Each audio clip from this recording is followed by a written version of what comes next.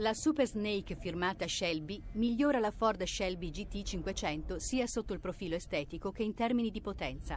Una muscle car super veloce non ha bisogno di altro.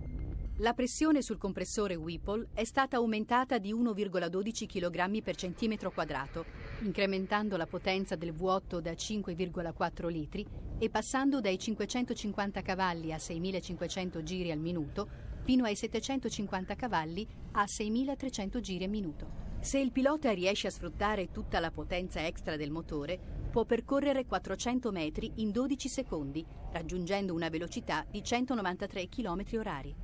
Il cofano consiste in una gigantesca presa di ventilazione, progettata per spingere quanta più aria possibile nel compressore. Anche il pronunciato splitter in fibra di carbonio è bene in vista e contribuisce a tenere incollati alla strada gli pneumatici anteriori quando si cerca di curvare in accelerazione.